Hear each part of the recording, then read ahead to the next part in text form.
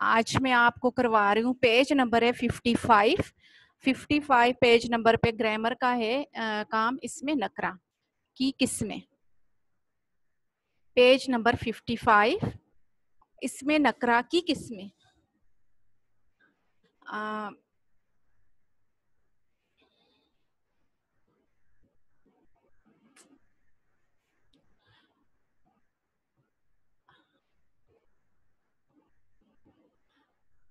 इसमें नकरा की पाँच इकसाम है। इसमें आला, इसमें सोत, इसमें तस्गीर या तसगर, इसमें जर्फ, इसमें मुकबर इसमें आला। वो इसमें नकरा है जो किसी औज़ार या हथियार को ज़ाहिर करे। जैसे कि छुरी, कैंची, तलवार, बंदूक, जैसे कि घर में आप कुछ और चीज़ें भी यूज़ करते हैं, झाड़ू, ये सारे क्या होते हैं? इसमें आला आला हथियार या औज़ार को कहते हैं। अरबी और फारसी के इसमें आला भी उर्दू में इस्तेमाल होते हैं, जैसे मक्यासल हरारत, जिस तरह, जिसको थर्मामीटर कहते हैं, मसवाक, मकरास, कैंची, मस्तर फुट रोल या पैमाना कलम तराश, चाकू वगैरह। अब आपको यकीनन समझ आ चुकी होगी कि इसमें आला क्या है। इसमें आला औज़ार या हथियार को कहा जाता है।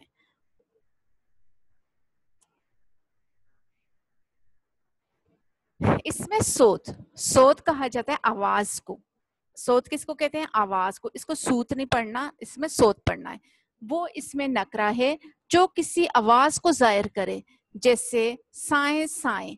हवा की आवाज़ होती है काए काए। कवे की आवाज़ है छम छम। बारिश की आवाज़ है गुटर हूँ कबूतर की आवाज़ टन टन। घंटे की आवाज़ कुकू कोयल की आवाज़ को कहा जाता है। इसी तरह मुख्तलिफ़ और भी आवाज़ें हैं जिस तरह चिड़िया चू चू करती है आपकी आ, स्कूल की जो घंटी है वो टन टन करती है। और भी मुख्तलिफ़ आवाज़ें जो है, चाहे बारिश की हो, चाहे हवा की हो, चाहे किसी जानदार या बेजान, किसी भी जान, यानी कि जानदार या बेजान की आवाज़ को इसमें सोत कहा जाता है, चाहे वो जानदार की हो, चाहे वो बेजान की हो। इसमें मसगर या तस्गीर, वो इसमें नकरा है जो किसी चीज़ का छोटापन ज़ाहिर करे। अच्छा ऊपर आपको सगर या तस्गीर में एक और जो हेडिंग है, इसमें इसमें तस्गीर या तसगर लिखा हुआ है, इसको आपने सही कर इसमें मसगर होता है। इसमें तस्गीर या इसमें मसगर, तसगर लिखा हुआ है, इसको करेक्ट कर लें आप लोग।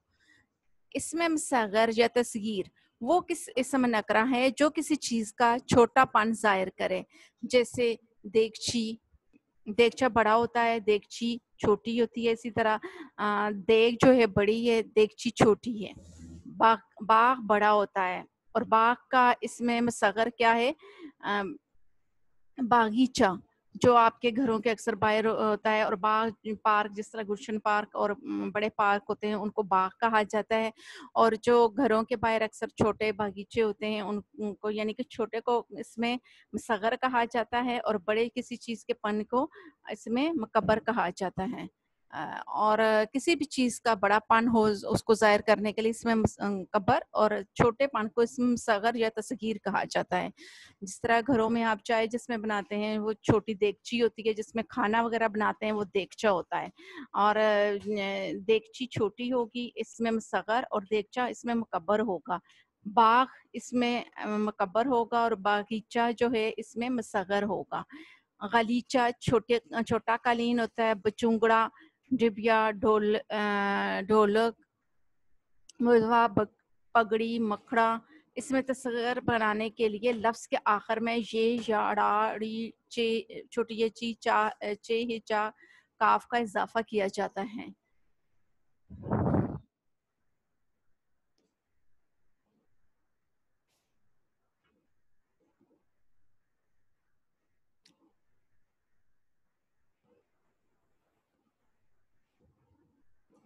आगे है इसमें मकबर मकबर होता है किसी चीज़ का बड़ापन जिस तरह के ऊपर मैंने आपको देगची का इसमें मकबर क्या बनाया, देग भी कह सकते हैं और देगचा भी हो सकता है। बागीचा का इसमें मकबर क्या है? बाग, प्याली का प्याला इसी तरह वो इसमें नकरा है जो किसी चीज़ का बड़ापन ज़ाहिर करे। मकबर नाम से भी ज़ाहिर है कि किसी चीज़ के बड़ेपन के लिए इस्तेमाल होता है जैसे कि श- अ, शहनशाह शाहतूत शाह तीर शाह रग शाह सवार शाह ज़ोर शाह पर और महाराज गट्ठड़ पतंगड़ छतर शाहकार पगड़। जिस तरह पगड़ी किस छोटी होती है और पगड़ जो होता है बड़ा होता है। छतर बड़ा होता है, इसमें मुकब्बर और छतरी क्या है? इसमें मसगर है। रग छोटी होती है, राग यानी कि छोटी छोटी जो वेन्स होती हैं, उनको राग कहा जाता है और शाह राग जो होती है, वो इसमें मकबर है। इसी तरह शाह सवार, शाह ज़ोर, शाह तीर शाहतूत शाह शहनशाह ये सारे क्या हैं? इसमें मकबर हैं। इसमें मकबर बनाने के लिए ये की जगह अलिफ का इस्तेमाल करते हैं। जैसे मकड़, मकड़ी से मकड़ा यानी ये देखें मकड़ी में छोटी ये आ रही है और मकड़ा में बड़ी अलिफ आ रहा है। बाज अड़े का जैसे कटड़ शाह और माह का भी इस्तेमाल होता है। जिस तरह कई लफ्ज़ों के साथ शाह या माँ लगा होता है, उससे भी समझ जाया करें कि यह इसमें मुकबर है। अगर शाह और माँ को हटा दिया जाए तो वो इसमें मुसगर किसी चीज़ के, जिस तरह शाह रग है तो शाह रग के साथ से शाह को हटा दें तो रग खाली क्या है, वो इसमें जो है मुसगर बन जाता है। और राग शार अगर लगाएँगे तो वो इसमें मुकबर होगा। इसी तरह बात जो होती है, इसमें बात का जब बिगड़ जाती है तो बात का बतंगड़ बन जाता है तो उसको क्या कहते हैं? इसमें मुकब्बर। बात इसमें मसगर होता है और बतंगड़ जब बनता है, यानी बात का तो वो इसमें मुकब्बर है। जिन लफ्ज़ों के साथ जो है, शाह या माहा हो, जिस तरह महाराजा, महाभारत, इस तरह के लफ्ज़ जो हैं, माहा वाले जो लफ्ज़ होते हैं, वो क्या होते हैं? इसमें मुकब्बर। और शाह जिन लफ्ज़ों के साथ होता है, वो भी एक निशानी के तौर पर याद रखा करें कि वो इसमें हमेशा इसमें मुकब्बर ही होते हैं। और कई दफ़ा शाह या माँ लगे लफ्ज़, महाराज या इस तरह के लफ्ज़ जो होते हैं, उनके साथ से माँ या शाह को हटा दें तो वो इसमें मुसगर बन जाते हैं। आगे है इसमें ज़र्फ। वो इसमें नकरा जिससे कोई जगह या वक्त ज़ाहिर हो, जैसे इसमें दो चीज़ें हैं, एक जगह और एक वक्त। इसमें ज़र्फ में वो इसमें नकरा होता है जिसमें कोई जगह या वक्त ज़ाहिर हो, जिस तरह दफ्तर जगह है, स्कूल, कारखाना, अब सुबह शाम जो है वो वक्त है। इसमें ज़र्फ में वक्त और जगह दोनों ज़ाहिर होते हैं और इसमें ज़र्फ की आगे दो किस्में हैं, इसमें ज़र्फ मका इसमें ज़र्फ ज़मा। मकान जगह को कहते हैं और जुमा ज़माने या टाइम को कहा जाता है। इसमें ज़र्फ़ की किस्मों में अ, कौन सी दो किस्में आ जाती हैं? इसमें ज़र्फ़ मकान, इसमें ज़र्फ़ ज़मा। इनके नामों से भी आप पहचान सकते हैं, मकान जगह को कहा जाता है, ज़मा वक़्त या ज़माने को कहा जाता है। इसमें ज़र्फ़ मकान अब कई दफ़ा जो होता है क्योंकि जो मेट्रिक बोर्ड में आते हैं या वैसे भी एग्ज़ाम में हम आपको एमसीक्यूज़ की सूरत में देते हैं, इसकी डेफ़िनेशंस को याद करने की ज़रूरत नहीं होती। आप लोगों ने सिक्स क्लास में पढ़ा हुआ, जिस तरीके से सिक्स क्लास में पढ़ा था, सेम वही है पैटर्न कि आपको डेफिनेशन याद करने की ज़रूरत नहीं है, समझने के लिए, समझ के आपने पढ़ना है तो उसके लिए ज़रूरी है कि आप जो है, इनको करें समझें और उस तरह से याद करें, रटे ना लगाएँ और जिस तरह ज़रफ़ मकान है तो मकान कई दफ़ा दिया होता है मस्जिद ग्रामर की रूह से क्या है, ज़रफ़ मकान है या ज़मा है, क्या चीज़ें? तो आपको अगर समझ होगी मस्जिद जगह है तो ज़रफ़ मकान जगह को कहा जाता है। तो वो आप एमसीक्यूज़ को आसानी से टिक लगा सकते हैं। वो इसमें नकरा जो किसी जगह को ज़ाहिर करे जैसे कि मस्जिद है, मदरसा है, घर है, स्टेशन है, सब्ज़ी मंडी है, नमकदान, शफ़ा खाना, ईदगाह, कुतुब खाना, तार घर, डाक खाना, पानदान, शिकारगाह, मेख़ खाना, मंज़िल वग़ैरह। यानी कि ये सारी क्या है जगह हैं और जगह को क्या कहा जाता है इसमें ज़र्फ़ मकान। अब आगे नेक्स्ट है इसमें ज़र्फ़ ज़मा। जैसे कि मैंने आपसे कहा है कि ज़र्फ़ जो ज़मा है वो किसको वो वो इसमें नकरा जो किसी वक़्त को ज़ाहिर करे। जैसे सुबह, शाम, दोपहर, रात, दिन, साल, महीना। अब ये नहीं कि उसमें घंटे ही आते हैं, सुबह, शाम भी वक़्त ही होता है, दोपहर भी वक़्त है, रात भी वक़्त है, दिन भी, साल, महीना, हफ़्ता, मिनट, सेकेंड आज, कल। इसमें मौसम भी आ जाते हैं जैसे बहार, ख़ज़ां गर्मी, सर्दी वगैरह वो भी इसमें ज़र्फ़ ज़मा को ज़ाहिर करते हैं। कई दफ़ा आ जाता है कि अ, एमसीक्यूज़ में कि ख़ज़ाम ग्रामर की रूह से क्या है? तो ज़र्फ़ ज़मा है या मकान है तो आपको पता होना चाहिए कि जो मौसम वगैरह हैं वो भी वक़्त को ज़ाहिर करते हैं। आप अब पूछा जाए अगर आपसे कि सुबह क्या है ग्रामर की रूह से तो सुबह जो होगा वो इसमें ज़र्फ़ ज़मा। आपसे कहा जाए घर क्या है ग्रामर की रूह से तो घर क्या होगा इसमें ज़र्फ़ मकान।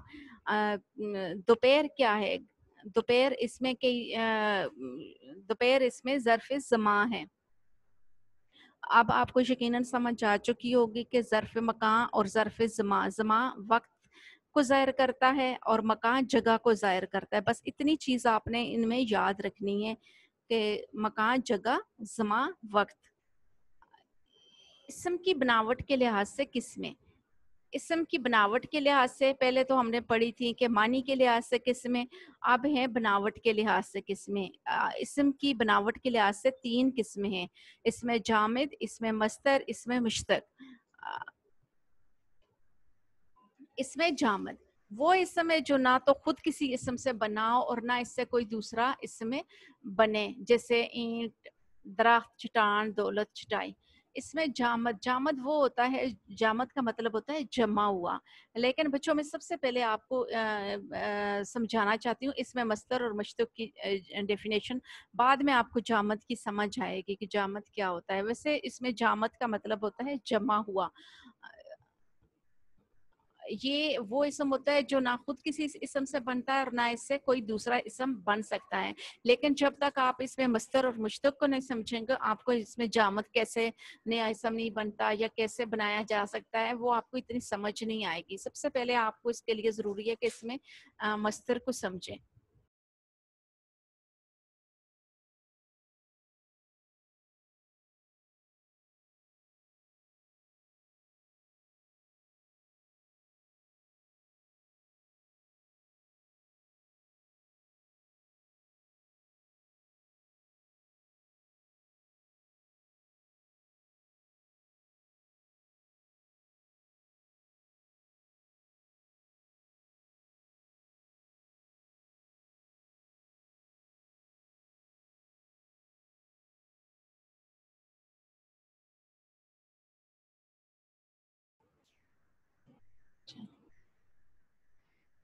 वो इसम है जो ना जो खुद तो किसी से ना बने लेकिन इससे बहुत से इसम और फ़ेल बने जैसे लिखना से लिखने वाला, लिखा हुआ।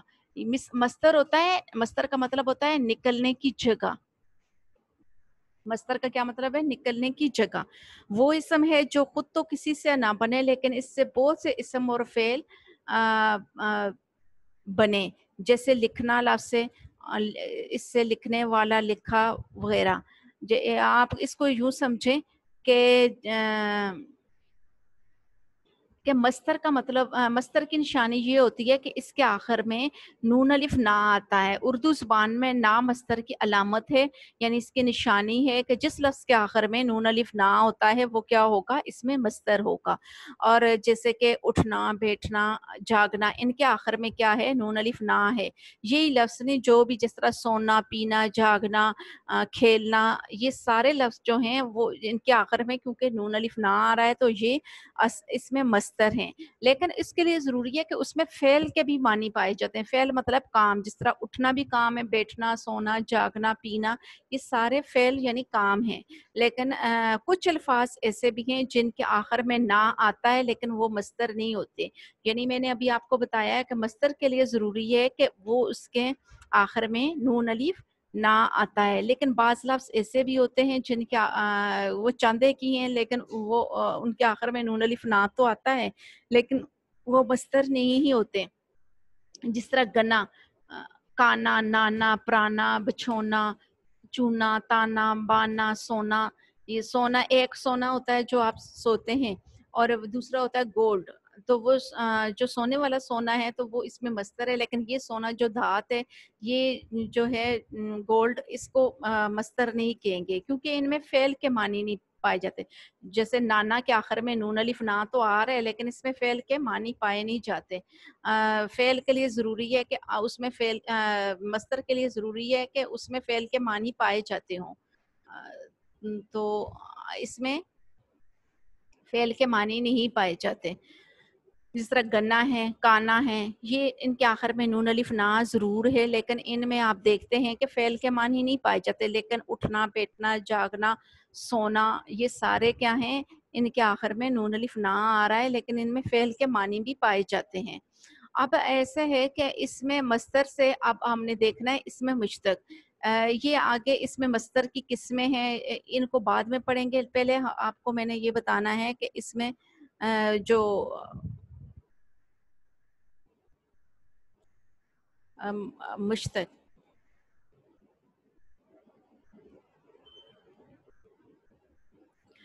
अच्छा इसमें मुश्तक वो है, जो खुद तो मस्तर वगैरह से बने, लेकिन इससे फिर कोई लफ्स ना बने। मश्तक का मतलब होता है निकला हुआ। ये किससे निकलता है? इसमें मस्तर से निकलता है। मस्तर का मतलब होता है निकला हुआ निकलने की जगह। और इसमें मुश्तक होता है निकला हुआ।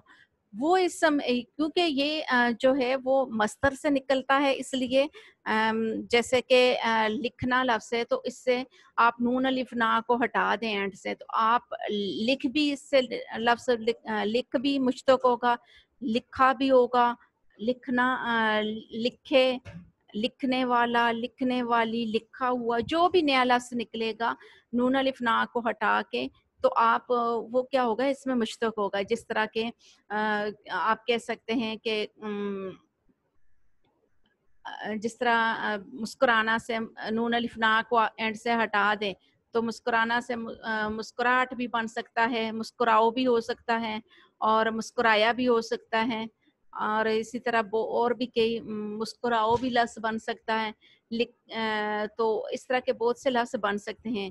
जिस तरह जागना लफ्स है जागना के आखिर से नून अलिफ ना को हटा दें तो आ, क्या लफ्स बन सकता है? जागो जागा जागे कई लफ्स बन सकते हैं तो वो सारे क्या होंगे इसमें मुश्तक है क्योंकि मुश्तक का मतलब है निकला हुआ वो किससे निकला होता है? इसमें मस्तर से बैठना के आखिर से नून अलिफ ना को हटा दें तो क्या बन जाएगा? बैठ बैठो और भी कई लफ्स बन सकते हैं मसला उठना के आखिर से नून अलिफ ना को हटा दें तो क्या बन जाएगा? उठ उठो, उठा, उठे, ये सारे क्या लफ्ज हैं? इसमें मुश्तक होंगे। यानी कि ये किससे निकले होते हैं? इसमें मस्तर से। मस्तर का मतलब बार बार मैं आपको बता रही हूँ कि मस्तर का मतलब होता है निकलने की जगह। क्योंकि इससे इसमें मुश्तक निकलता है और मुश्तक का मतलब होता है निकला हुआ। तो जाम, अब मैं आपको बता दूँ कि जामत क्या है? जामत जो होता है आपने जैसे देखा है कि मस्तर निकलने की जगह होती है, यानी इससे नए लफ्स बनाए जा सकते हैं। ये खुद किसी से नहीं बना होता, लेकिन इससे बहुत से नए लफ्स बनाए जा सकते हैं। जिस तरह उठना के आखिर से नून अलिफना को हटाएँ तो उठ, उठो, ये नए लफ्स बन रहे हैं। जो नए लफ्स बनते हैं, वो क्या होते हैं इसमें मुश्तक। जिस तरह उठ, उठो उठा, उठे, ये सारे क्या हैं, इसमें मुश्तक होंगे। लेकिन इसमें जामत क्या होता है? वो इसम है जो ना खुद किसी से बना हो और ना इससे कोई दूसरा इसम बने। यानी ये खुद भी किसी से नहीं बना होता और इससे नया लफ्ज कोई भी नहीं बनता। जैसे कि ईंट ईंट से कोई नया, ये मुश्तक क्योंकि मुश्तक की निशानी है कि वो इसमें मस्तर से बना होता है और मस्तर की निशानी है उसके आखिर में नून अलिफ ना आता है। लेकिन इसमें आप देखते हैं कि ईंट ईंटना तो नहीं होता ना तो ना ही ईंट से कोई नया लफ्ज बनता है और ना ये खुद किसी से बना होता है। इसी तरह दरख्त है तो दरख्त भी ना इसमें मस्तर से निकला है और ना मुश्तक है। ये क्या हो गया? जामत। यानी कि ये ना खुद किसी से बने होते हैं और ना इनसे कोई दूसरा लफ्ज बनाया जा सकता है। चटान दौलत, चटाई, ये सारे जो लफ्ज हैं, और भी कई इस तरह के लफ्ज हैं जो ना खुद किसी से बने होते हैं और ना इनसे कोई नया लफ्ज बनाया जा सकता है। वो क्या होते हैं? इसमें जामद। एक दफ़ा फिर रिपीट कर देती हूँ कि मस्तर का मतलब होता है निकलने की जगह। और मशतक का मतलब होता है निकला हुआ। मस्तर जो होता है वो इस समय जो खुद तो किसी से नहीं बना होता, मगर इससे नए लफ्ज बनाए जा सकते हैं। और मशतक जो होता है, इसमें मस्तर से निकला होता है। और मुश्तक का मतलब होता है निकला हुआ। ये निकलने की जगह है मस्तर और मुश्तक निकला हुआ। और यानी कि ये किससे निकला होता है? मस्तर से। और इसमें जामद वो होता है जो ना खुद किसी से बना होता है और ना इससे कोई दूसरा लफ्ज बनाया जा सकता है। इसको इसमें जामद कहा जाता है। अब यकीनन आपको समझ आ चुकी होगी कि मस्तर, मशतक और जामद क्या है।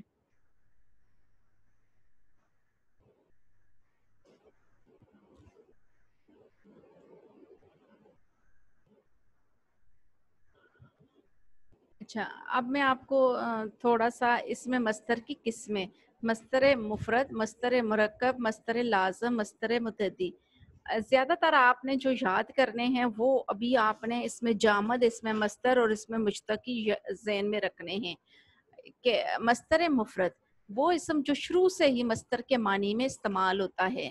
जैसे आना, जाना, पढ़ना, लिखना, कहना वगैरह, मुफरत एक को कहा जाता है मरकब वो इसम है जो मस्तर के शुरू में कोई लफ्स लगाकर दूसरा मस्तर बना लेते हैं इस मस्तर मरकब इसको मस्तर मरकब कहते हैं, जैसे के आना, ये दो लफ्स से मुफरत होता है एक लफ्स, जिस तरह लिखना, कहना, इनके शुरू में कोई लफ्स नहीं है, ये मुफरत एक है। मरकब होते हैं एक से ज़्यादा, जैसे के आना, इनके ये कैसे बनते हैं? शुरू में कोई लफ्ज लगाकर दूसरा मस्तर बना लेते हैं। इस मस्तर मरकब कहते हैं, जैसे के आना अब देखें, आना से पहले के लगा हुआ है और आना क्या है? मस्तर है। तो इसी तरह बहक जाना, कलमा पढ़ना, कसीदा लिखना, सच कहना वगैरह।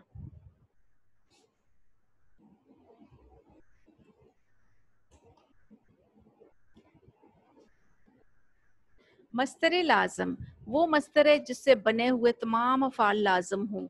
वो फेल, जो सिर्फ़ फ़ाइल को चाहे फेल लाजम कहलाता है। जिस मस्तर से ये फेल बनेगा, वो मस्तर भी लाजम होगा। जैसे आना, जाना, चलना, दौड़ना आप सबके देख रहे हैं कि एंड में नून अलिफ ना आ रहा है। सोना, जागना, उछलना, कूदना वगैरह सब मस्तर लाजम है। मस्तर मतहदी, वो मस्तर है जिससे मतहदी अफ़ाल बनते हैं। और मतदी फ़ेल वो है जो फ़ाइल के अलावा मफूल को भी चाहे। फ़ाइल आपको पता है कौन होता है कि मैंने आपको पहले बता दिया हुआ है सिक्स क्लास में भी इसको पढ़ाया है। फ़ाइल वो होता है जो काम कर रहा था और मफूल वो होता है जिस पर आ, काम किया जाता है। जिस तरह अहमद किताब पढ़ता है तो अहमद क्या है? फ़ाइल है और किताब क्या है? मफूल है और फ़ेल क्या है? काम काम को कर जैसे पढ़ना जो है वो फेल है।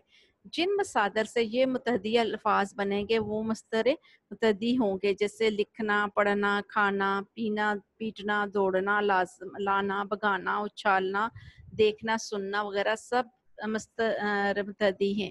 वैसे आपको मैं बता दूँ कि अभी आपको इतने ये मस्त मुफरत मरकब और इनको इतना भी ज़्यादा नहीं है ज़रूरी जितने के मस्तर इसमें मस्तर, मुश्तक और जामद पढ़ने ज़रूरी है। क्योंकि स्टेप बाय स्टेप आप हर क्लास में इनको पढ़ते हैं। लेकिन ये है कि समझें ज़रूर लेकिन सबसे मेन जो है अभी आपने इसमें आला इसमें सोत इसमें सगर या तस्गीर और इसमें ज़रफ़ मकान ज़रफ़ ज़मा और इसमें जामद मस्तर और मुश्तक को बहुत अच्छी तरह से पढ़ना है उनको समझना है। और इसके अलावा आपने आ, क्या है कि इनकी आगे जो किस्में हैं इसमें मस्तर की वो अभी अगर आप थोड़ा कम भी पढ़ेंगे थोड़ा बहुत समझेंगे तो ठीक है लेकिन इन बाकी चीज़ों को बहुत अच्छी तरह से आपने समझना है।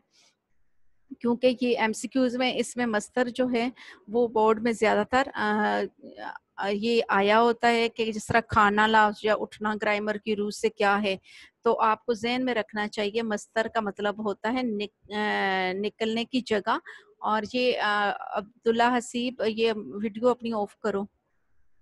मुजम्मिल खान और जलनूर।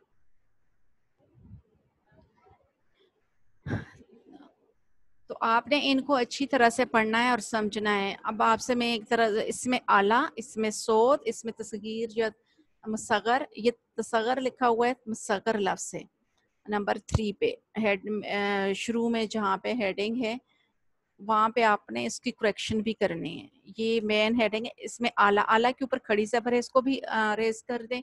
इसमें सोत, इसमें तस्गीर या मसगर, मीम कर दें, तसगर लिखा हुआ है। इसमें ज़र्फ, इसमें मकबर तो आपने इनको अच्छी तरह से समझना और इनको, इन आपको सही तरह समझ होना चाहिए। रटे नहीं लगाने डेफिनेशंस को। जिस तरह आपने सिक्स क्लास में पढ़े थे, वैसे ही एमसीक्यूज में आते हैं ये। Aww.